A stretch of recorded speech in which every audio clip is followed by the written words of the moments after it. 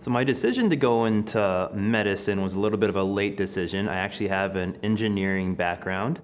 So I started off as a biomedical engineer, really loved it, really challenging career. However, just wasn't personable enough for me. I wasn't really getting the people to people interaction that I love. And that's when I decided to pivot into medicine.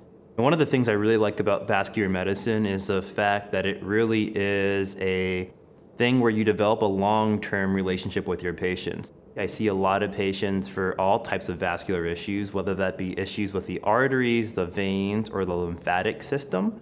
In particular, I see a lot of patients for issues with blood clots or recurrent blood clots, and I myself tend to focus on blood clots in the lungs. And so a lot of the patients I see are for what we call unprovoked blood clots in the lungs or blood clots that we don't really know why they occurred they come in with a very dramatic presentation to the hospital, whether that be cardiac arrest, or they're sitting at home and they suddenly experience chest pain or shortness of breath. But really, when we see them on the outpatient setting, we get to focus on why did this happen to you? What is the toll this has taken on you? How can we be of help to you? How can we explain things more clearly to you? And going forward, how can we make sure this never happens to you again? One of the things as a vascular medicine doctor, I'm always telling my patients they need to be active, travel, and enjoy life. And so myself, same thing. I love to travel, love to stay active, and those are kind of the things I do in my spare time.